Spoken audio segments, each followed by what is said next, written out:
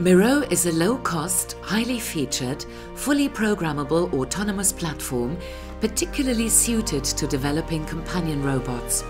Miro's team combines internationally leading design and research talent with state-of-the-art understanding of biomimetics and social robots. In the future, robots will play an increasingly important role in our lives, interacting with us in our personal, public and private spaces and behaving in surprisingly natural ways. Miro is a hybrid of lots of different animals. We've done this because we want Miro to have its own distinct personality. We are trying to replicate nature rather than go the normal artificial intelligence route, uh, which is much more mechanical and produces a much more stilted type of action and behaviour.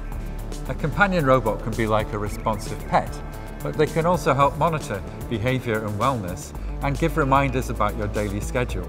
Researchers and developers working in human-robot interaction will find Miro to be a useful, reliable and flexible platform that people from all walks of life will readily interact with.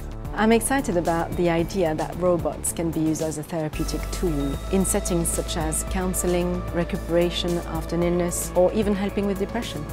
I think Miro is great for this because people are instinctively drawn to it and love interacting with it almost as if it was a living thing.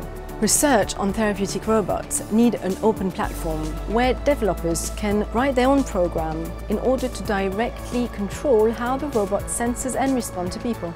Miro's control system is distributed across a stack of three ARM processors, each responsible for a different facet of control, from reflexes through spatial processing to higher level representations and decision making. At present, I mean, Miro is like a brand new laptop with just the operating system and no programs put in it.